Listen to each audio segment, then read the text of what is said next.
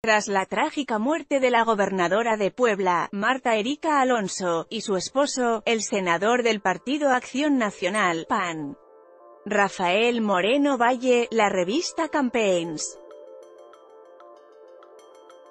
a través de su cuenta de Twitter, la revista publicó, te compartimos el, el video póstumo que vía circula en redes dedicado a la memoria de arroba Rafa Moreno Valle, 6, te compartimos el, el video póstumo que vía circula en redes dedicado a la memoria de arroba Rafa Moreno Valle pic.twitter.com barra edorrenicv2 campaigns.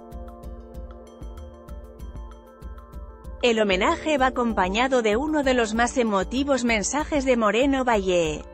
Cuando pase el tiempo de nuestra generación, no seremos recordados por lo difícil de los retos que enfrentamos, o por nuestras palabras, sino por el valor de nuestras acciones, dicho video no es el único acto en memoria de la familia Moreno Valle, pues el artista poblano Esteban Fuentes de María realizó una obra en honor a la gobernadora y su esposo, quienes de manera trágica perdieron la vida el pasado 24 de diciembre.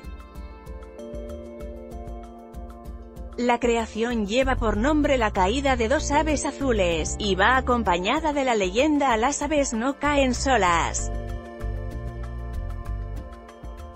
Se trata de una pintura en la que se ven dos pájaros azules cayendo desde las alturas y un cielo gris, abrazados y con sangre.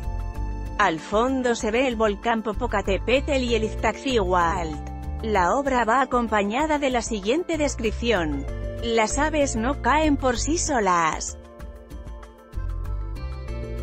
Hago esta obra inspirado por el coraje, la impotencia y la incertidumbre que se vive en México. Quiero dedicar la obra a la memoria de dos grandes amigos que transformaron México y Puebla.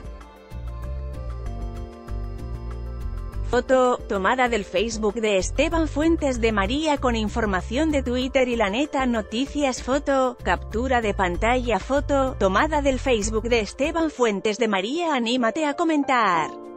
Queremos saber tu opinión. Comentarios Powered by Facebook Comments.